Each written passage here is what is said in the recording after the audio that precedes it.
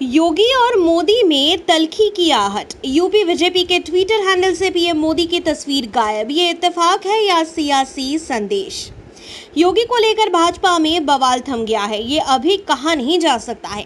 UP Bhajpa के Twitter handle की ताज़ा तस्वीर तो यही बयां करती है कि भाजपा योगी को जितना कमज़ोर समझती है, ये उतने हैं नहीं। रविवार 6 जून को उत्तर प्रदेश भाजपा प्रभारी राधा मोहन सिंह की राज्यपाल आनंदीबेन पटेल से मुलाकात सामान्य शिष्टाचार भेंट नहीं थी। राजधानी, राजनीति के जानकार इसे बड़े तूफ़ान की आहट बता रहे हैं। इसे लेकर सोशल मीडिया पर भी अलग अलग बातें हो रही है। कहा जा रहा है कि मोदी को अपना आदर्श बताने वाले सीएम योगी और सरकार के अन्य ऑफिशियल ट्विटर हैंडल से पीएम मोदी की तस्वीर गायब है।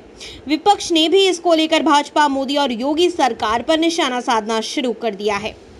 यूपी, बीजेपी के ट्विटर हैंडल पर लगे बैनर में अध्यक्ष स्वतंत्र देव सिंह और मुख्यमंत्री योगी आदित्यनाथ के साथ दोनों डेप्यूटी सीएम केशव प्रसाद मौर्य और दिनेश शर्मा की तस्वीरें हैं।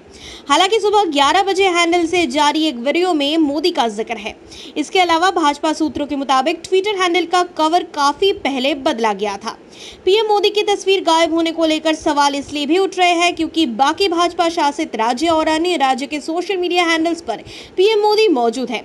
यूपी से सटे मध्य प्रदेश में एट बीजेपी फॉर पीएम के ट्विटर हैंडल पर पीएम नरेंद्र मोदी और राष्ट्रीय अध्यक्ष जेपी नड्डा की तस्वीरें भी लगी हुई है। गुजरात, हिमाचल प्रदेश, हरियाणा के आधिकारिक ट्विटर हैंडल पर। अभी भी पीएम मोदी की तस्वीर है। गोवा के ट्विटर हैंडल पर जो फ़ोटो है, उसमें सिर्फ़ मोदी और केंद्रीय गृह मंत्री अमित शाह की ही फ़ोटो है। भाजपा अध्यक्ष योगी सरकार की तारीफ़ में जुटे। रविवार को जब यूपी प्रभारी राधा मोहन लखनऊ दौरे पर थे, तब राधा मोहन और प्रदेश अध्यक्ष स्वतंत्र देव सिंह यूपी में मंत्रिमंडल विस्तार को लेकर सवाल पूछा गया।